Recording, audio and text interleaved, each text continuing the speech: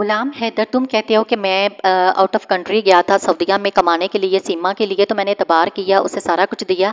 पहले ये बताओ, घटिया इंसान कि मैं शुरू से तुम्हारी अंगेज हूँ, ठीक है? लेकिन तुम्हारी पर्सनैलिटी देखी कि तुम पर्सनैलिटी पर तुम तो बहुत ही घटिया हो, क्योंकि तुम्हारी तो ज़बान आग और गालियाँ ही उगलती है। पहले बीवी ने भी आँखों पर पट्टी बांधी हुई थी, अंधा तमाद किया था कि मेरा हस्बैंड है, घर से बाहर जाता है, कमा के लाएगा, बच्चे पालेंगे अच्छा घर बनाएँगे, सब कुछ करेंगे, उसके भी सपने थे जो तुमने तोड़ दिए, इश्क लड़ाया। तुमने खुद ही बताया था ना कि सीमा के साथ तुम्हारा इश्क चल रहा था, फिर कोर्ट मैरिज की। पहली बीवी का कसूर क्या था? पहली बीवी का किसके साथ फेयर था, जो उसको तलाक दे दी, धक्के देके घर से निकाला, उसके बच्चे छीन लिए, बच्चों से माँ की ममता छीन ली, बच्चों को माँ की ममता से महरूम कर दिया। तुम कहते हो, फरवा को बुखार हो गया, मैं रो रहा हूँ। नाटक तुम्हारा इतना ज़्यादा है। तो जो पहले बच्चे बीमार होते हैं, उन्हें कौन गले से लगाता है? उन्हें कौन माँ का प्यार देता है? जिस तरह तुमने अपनी पहली बेटी बेच दी है, उसी तरह उन तीनों बच्चों को भी बेच देना है तुमने। हाँ ये तुम्हारी औकात है और तुम्हें जो सपोर्ट ना ना करे, उन्हें तुम गालियाँ देने लग जाते हो। असल में तुम्हारे व्यूज़ नहीं बढ़ रहे ना तो तुम व्यूज़ बढ़ाने के चक्करों में लगे हुए हो। पहली बीवी का एतबार क्यों तोड़ा? पहली बीवी का क्या कसूर था? पहली बीवी ने क्या किया था तुम्हारे साथ? वो तो तुम्हारी अच्छी बीवी थी ना, उसके साथ तुमने जुलम और जाते क्यों क्यों की? सीमा ने तुम्हें कोई धोखा नहीं दिया, तुमने पहली बीवी को धोखा दिया। ठीक हो गया ना? पहली बीवी को तुमने आखिर धोखा क्यों दिया? उसका क्या कसूर था? उन बच्चों का क्या कसूर था? उनसे उनकी माँ छीन ली। जब उनको बुखार होता तब तुम्हारे आँसू नहीं निकलते। मगरमच्छ वाले आँसू और कोई भी गुलाम हैदर बंदर की शक्ल वाले को सपोर्ट मत करे। ये नाटक कर रहा है। चार शादियों के ऊपर इतना नाटक जब तुम अफोर्ड कर ही नहीं सकते, जब तुम्हें पता था कि तुम एक रक्षा ड्राइवर हो तो तुम्हें पहली बीवी के ही साथ रहना चाहिए था। तुम्हें ज़िंदगी नहीं तबाह करनी चाहिए थी। तुमने इतनी ज़िंदगियाँ तबाह की हैं। तुम्हारा ये धंधा बन गया हुआ है। शादियाँ कर लेना और बच्चियाँ पैदा कर लेना और फिर उनको बेच देना। पहले बच्चों की तरबियत करो और कोई भी इसकी सपोर्ट ना करे। और ये इंडिया में जो बैठे बक बक बक बक कर रहे हैं ना पहले इसे ये पूछे इसकी बीवी पहली का क्या कसूर था? उसके साथ जुल्म क्यों किया इसने? उन बच्चों के साथ जुल्म क्यों कर रहा है? उनका स्कूल कौन सा है? कौन से स्कूल में वो पढ़ रहे हैं?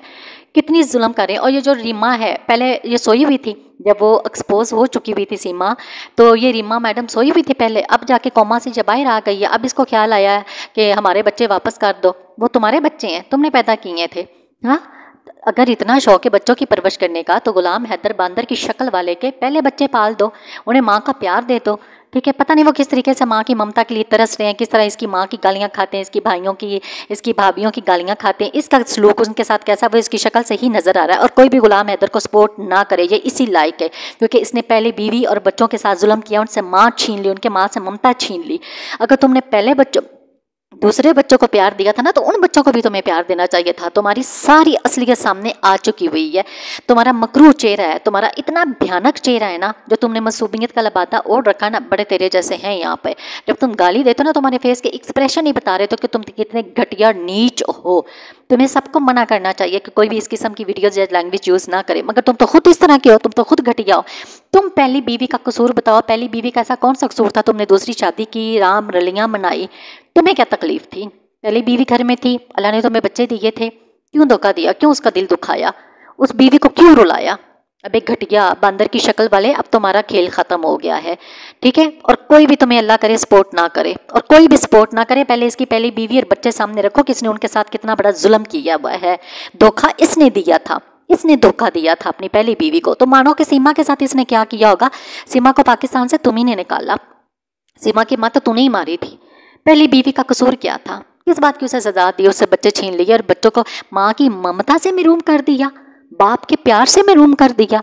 ना उनका स्कूल है, ना उनका कैरियर है। उनका कैरियर क्यों नहीं तुम्हें याद आता?